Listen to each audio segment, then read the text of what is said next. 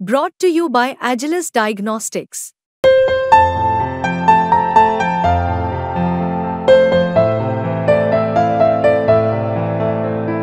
Agilus Diagnostics.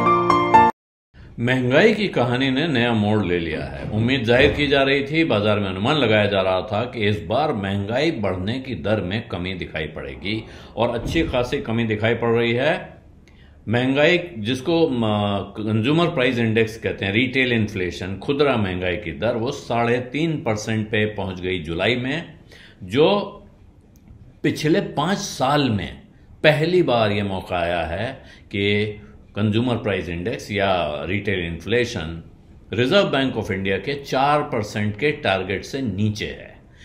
Target चार percent होता है, उसकी रेंज है चार प्लस माइनस दो, यानी कि दो परसेंट से छह परसेंट के बीच में अगर महँगाई बढ़ने की रफ्तार रहती है तो रिज़र्व बैंक के लिए वो बर्दाश्त की हद में है।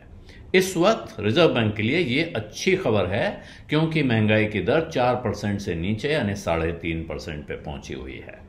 और ये जून में 5.08 परसेंट थी, और, वजह क्या थी? जून और जुलाई दोनों में जो खाने पीने की चीज़ों के दाम हैं, वो काफ़ी बढ़े हुए थे। हालाँकि जुलाई में ये फिर फ़ूड इन्फ्लेशन भी कम होके 5.42 परसेंट हुआ है। और शहरों में, गाँव में सब तरफ़ महँगाई की जो दर है, वो कम होती हुई दिखाई दे रही है। इसलिए ये जो जुलाई का आंकड़ा है, हालाँकि रिटेल इन्फ्लेशन रेट का, ये 2023 में पिछले साल 7.44 परसेंट था, लगभग साढ़े सात परसेंट जो कि 15 महीनों की नई ऊंचाई थी।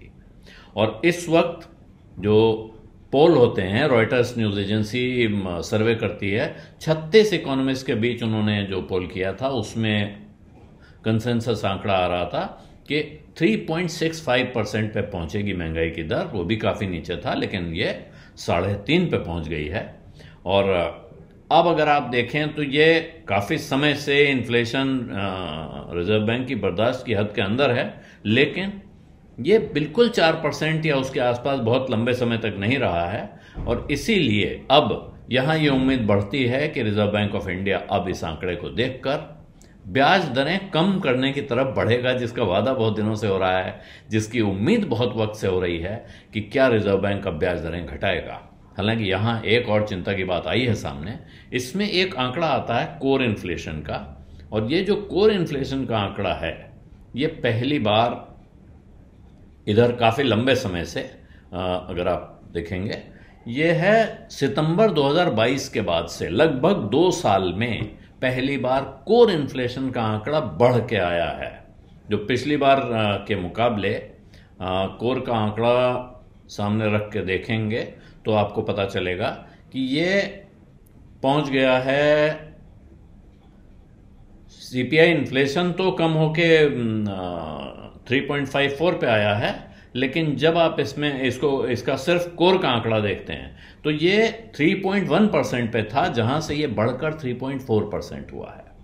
आप कह सकते हैं चार परसेंट वाली जो हद है उसके नीचे है, लेकिन ये चार परसेंट की हद कोर इन्फ्लेशन के लिए नहीं है, वो सीपीआई के आंकड़े के लिए है। कोर इन्फ्लेशन बढ़ना लगभग दो साल में पहली बार ये बढ़ा है, लेकिन ये एक चिंता का कारण हो सकता है, लेकिन कितनी बड़ी चिंता ये है इसको देखना होगा। और अब लोगों की उम्मीद इस बात पर टिकी है कि रिज़र्व बैंक अब शायद वो कदम उठाए जिसका इंतज़ार हो रहा है। ब्याज दरों में कुछ कमी की तरफ़ बढ़े। हालाँकि अभी भी पॉलिसी निकली है और अब इस बात के आसार हैं कि ये मौजूदा गवर्नर की ये आखिरी पॉलिसी थी।